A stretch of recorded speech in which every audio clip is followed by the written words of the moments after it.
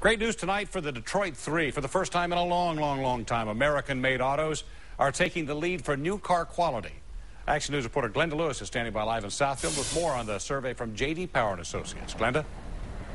Well, Stephen, maybe you remember the slogan, quality is job one. Well, Ford is on the job with one of the highest quality ratings of any U.S. manufacturer.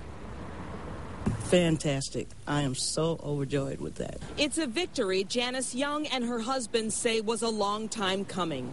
I worked for Ford for 55 years, and Ford has always been at the top. People just didn't realize it. Now JD Power is realizing it in print with their latest report, putting Ford in first place in quality among non-luxury brands for the first time ever. That's what we need. That's the how we'll grow our economy. But Ford, Ford's right up there, though.